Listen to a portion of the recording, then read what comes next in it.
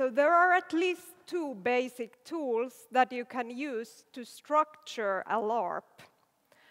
You can either uh, schedule events or you can design settings where player actions will create them. Uh, for example, if you want the Marquis to be murdered, or in your LARP, or if you want somebody to attempt to murder the Marquis, you can simply write a character who plans to murder him. To schedule content, you can use, for example, timetables um, there are some LARPs, for example, that are set in a school, like College of Wizardry or Lindängens Riksinternat. And in such a LARP, it is natural to have a schedule with classes. You can also use NPCs to create some kind of events, or you can schedule some kind of dramatic events, like if your LARP is set at a spaceship, then at some point the spaceship computer system might break, or there might be some accident or something, and you can uh, pre-schedule that. And uh, for this emergent content created by players, you design the kind of settings and characters that will uh, create it. The plus side of scheduled content is that it is very easy to manage. You know what will happen and you know when it will happen. And if it doesn't work during the LARP, you can always uh, change the plan, see how it goes during the game.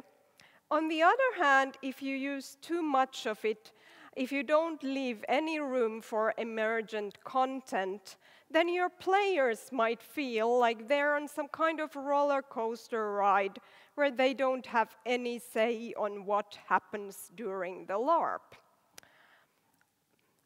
With emergent content, on the, on the other hand, the players will feel that they are the motor of the story, that everything arises from the characters' actions and it can be very rewarding for the players. The downside, however, is that it is unpredictable. Maybe during the game, your player decides that actually the Marquis is quite a nice guy, and she decides she won't try to murder him at all.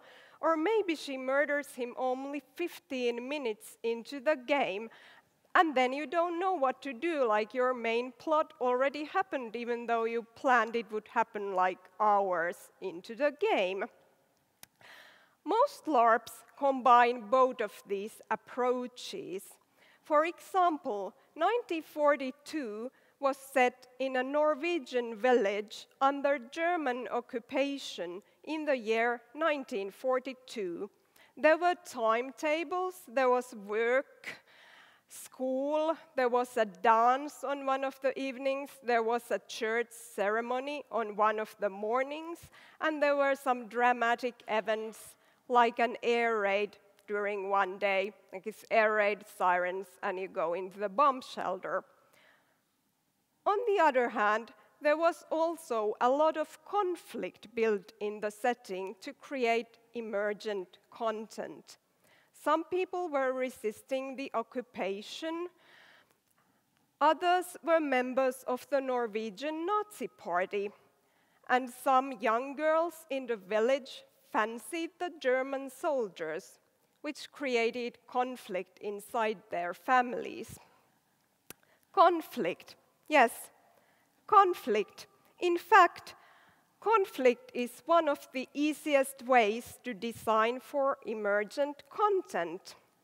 Tinderbox was a LARP with no scheduled content at all. Instead, it had lots of conflict built in.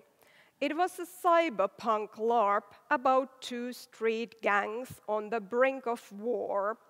And there were three levels of conflict in the LARP First of all, there was conflict between the two gangs, and then there was conflict inside each gang between those characters who wanted to fight and those who wanted peace. Also, some characters had an internal conflict on whether they should fight and possibly die in the fight, or whether they should flee, which would be dishonorable. In fact, LARPs and stories as well are so often built on conflict that it can be hard to imagine how to make an interesting LARP without pre planned conflict plots. When I signed up for Koi Koi, a LARP about a five day hunter gatherer festival, I was afraid I would get bored since there clearly was no conflict built into the setting. However, I wasn't bored at all, and we had a very interesting time playing various rites of passage.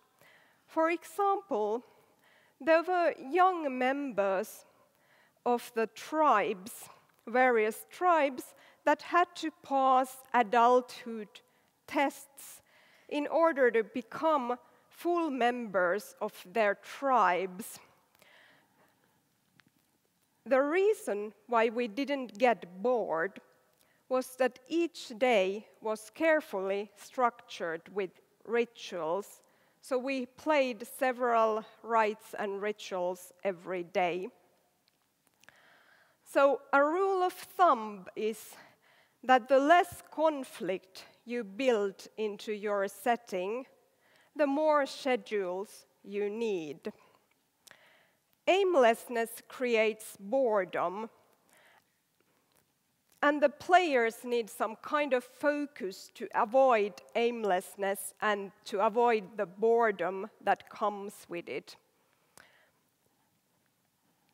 You have this kind of focus or a sense of purpose when you have a clear goal or a plan, for example, I want to murder the Marquis, and you have means to achieve it, like I have some poison here to murder him.